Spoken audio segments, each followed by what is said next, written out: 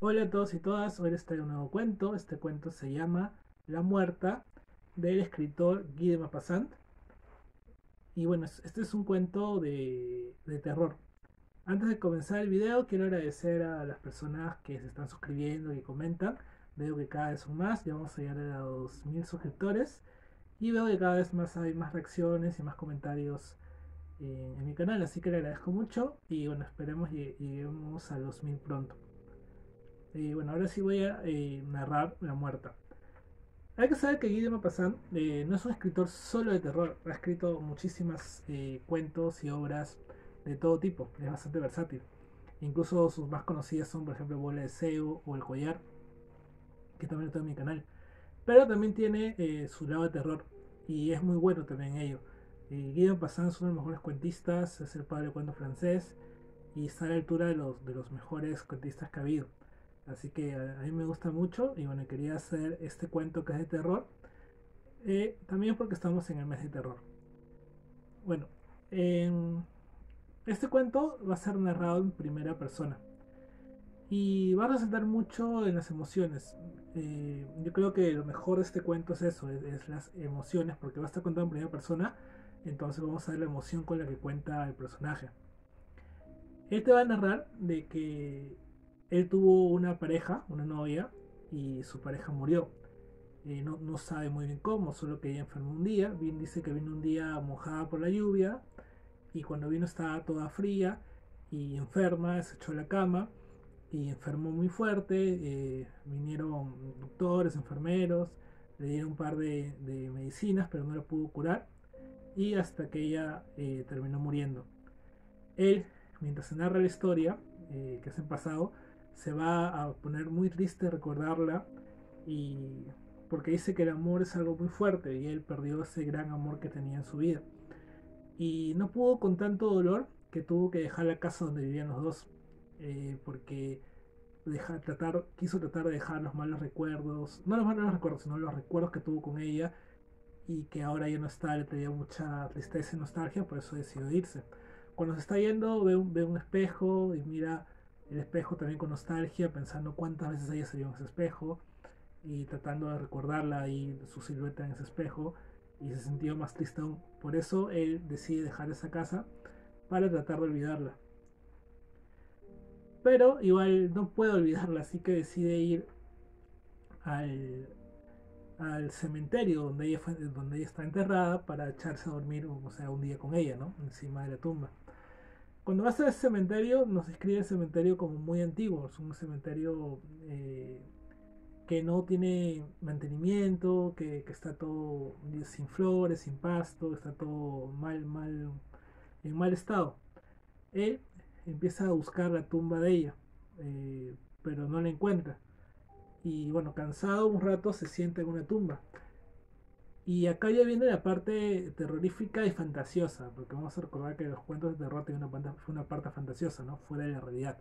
Bueno, en una de las tumbas que él ve, no, perdón, en la misma tumba que él ve, siente que alguien está empujando la tumba, él se levanta asustado y ve que es un esqueleto el que está empujando la tumba y, y ese esqueleto sale de su tumba.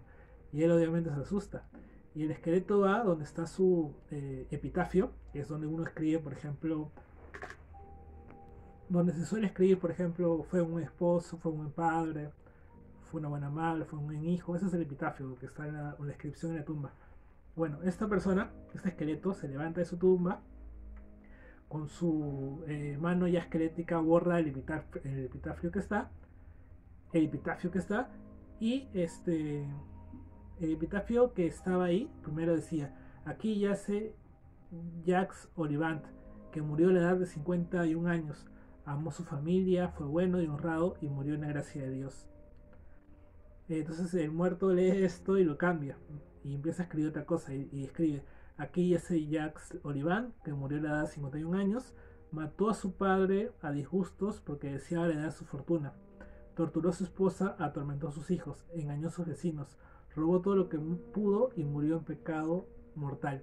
Es decir, el propio muerto cambia su epitafio, queda todo bonito, que ya hace un buen padre, un, buen hijo, eh, que amó su familia, fue bueno y honrado, y lo cambia por la verdad, ¿no? Que, que dio muchos disgustos a sus padres, que decía la fortuna de ellas, que, torturaba a su esposa, que, que atormentó a sus hijos, que fue un mal vecino.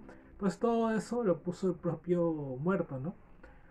Y una vez que pasa esto, eh, todos los muertos se levantan y empiezan a cambiar los epitafios y ponen lo que fueron en realidad. ¿Por qué? Porque en los epitafios nunca vas a encontrar nada malo. Eh, siempre vas a encontrar fue, fue bueno, fue bueno en esto, y aquí ya sea alguien importante.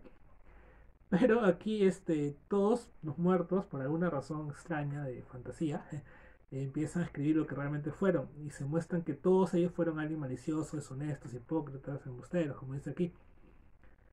Eh, que de pasar de que su epitafio dice buenos padres, eh, fieles esposos, eh, cambiaron a, cosas malas, ¿no? A que en realidad fueron gente mala.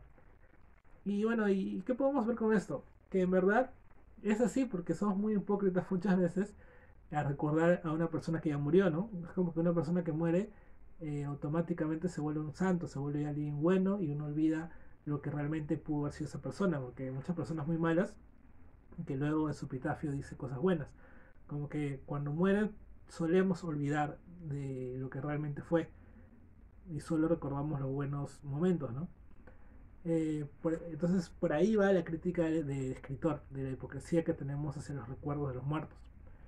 Bueno, entonces el protagonista que ve esto, como los secretos cambian sus cosas de las tumbas, eh, dice, tengo que encontrarla a ella, eh, y empieza a buscarla.